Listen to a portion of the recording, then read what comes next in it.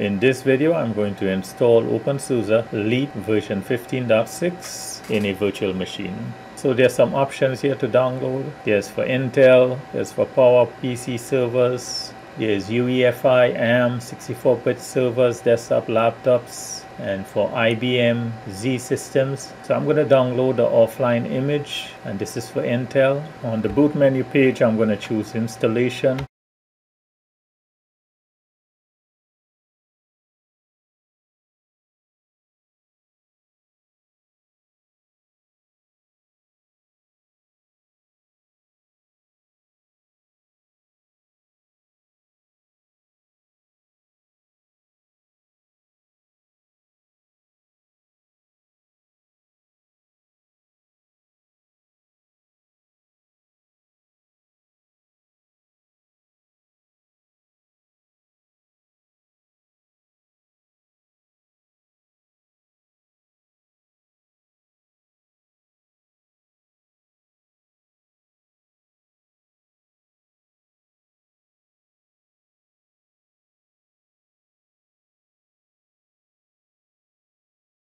So this is a pop-up OpenSUSE beta distribution. You are installing the future OpenSUSE version, not the stable present one. I'm going to click OK. So this is the language keyboard and license agreement. You can change the language here, keyboard layout language. This is the agreement. I'll click next. So this pop-up says activate online repositories now. I'm going to select yes. And here I can choose the online repositories. I can check or uncheck any one of these. I'm going to leave it as is. So this is in list of online repositories.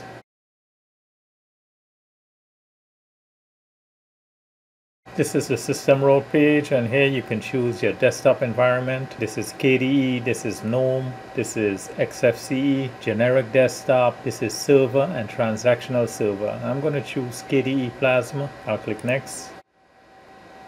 So this is the suggested partitioning page and it says initial layout proposed with the default guided system settings, changes to partitioning and there's guided setup and there's expert partitioner.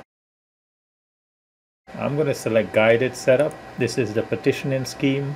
I'm going to select enable logical volume management. There's also enable disk encryption. I'm going to leave that unchecked. I'll click next. This is the settings for the root LVM logical volume. Here you can choose your file system. And these are the options. I'm going to leave it at BTRFS. I'll leave this checked. Enable snapshots. So it says propose separate home LVM logical volume. You can check this and this is the file system type.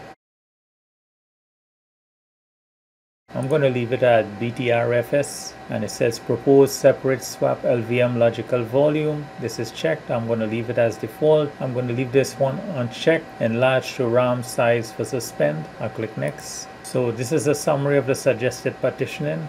I'll click next. Here you have to choose your time zone. So this is the region. This is the time zone.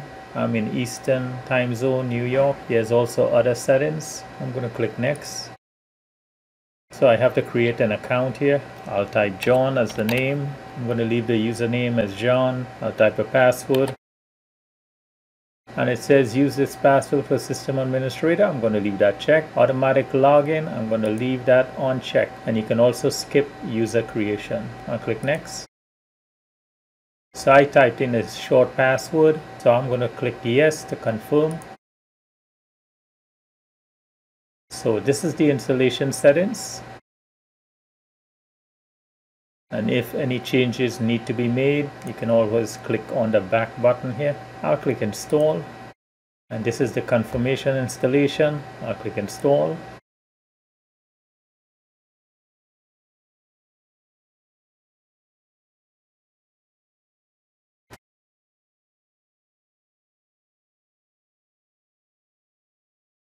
Okay, the system is going to reboot. Installation is complete.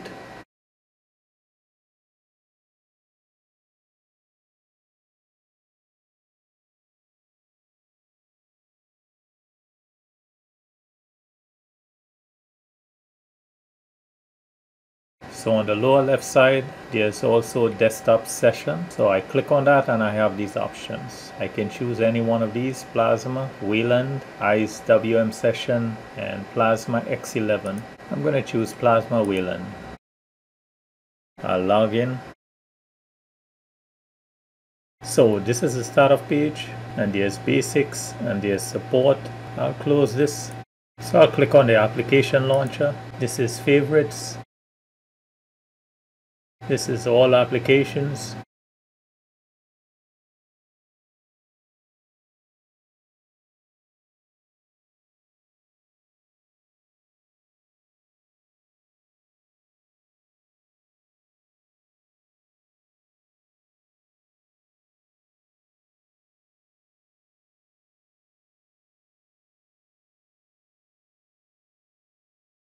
This is development, education, this is games, this is graphics, this is internet, this is multimedia, this is office, this is settings, this is system, This is utilities.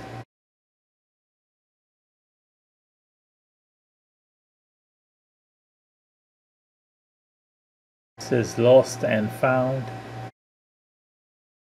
So I'll click on system settings. So on system settings, there's categories, there's appearance, workspace, personalization, network, hardware, and system administration. So this is the KDE Plasma version 5.27. This is the kernel version, the graphics platform. This is the system monitor. Applications, history, processes. This is tools. This is devices.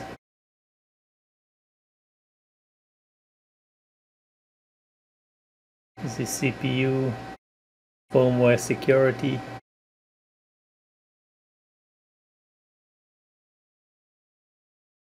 I'm going to right click the desktop, configure desktop on wallpaper.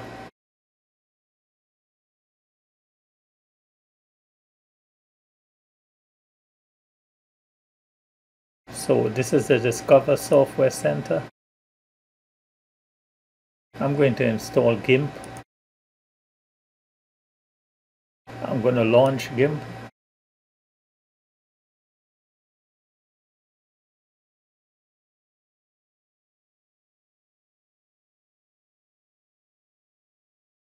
This is the install section.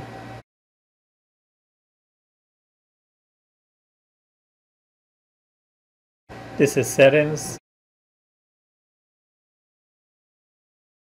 This is about. This is updates. I'll select update all. So this is the home folder.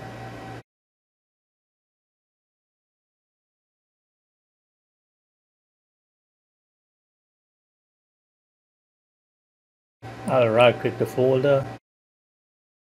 And these are the menu options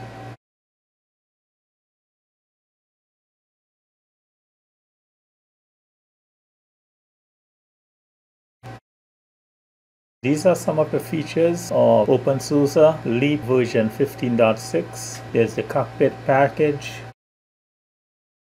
container technologies, there's virtualization technologies, software upgrades, telecommunication software, KDE environment, there's GNOME version 45, audio technologies,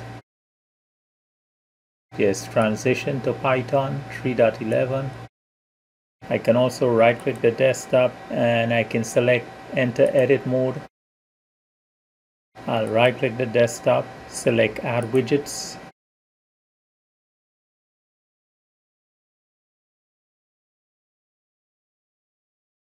I'll add a widget to the desktop just by dragging it.